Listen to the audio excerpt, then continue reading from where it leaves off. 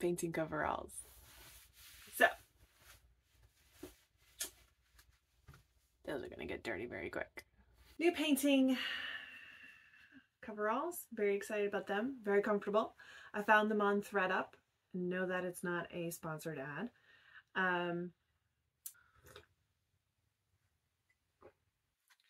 okay, so the assignment is to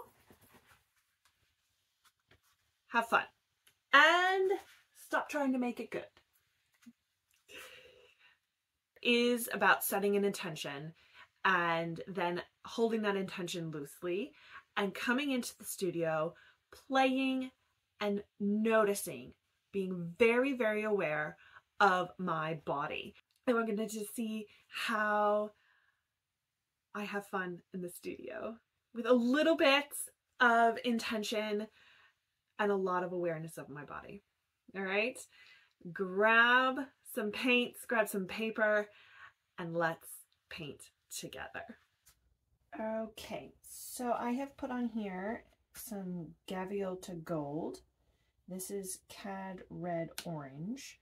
Got a, a couple of different tools.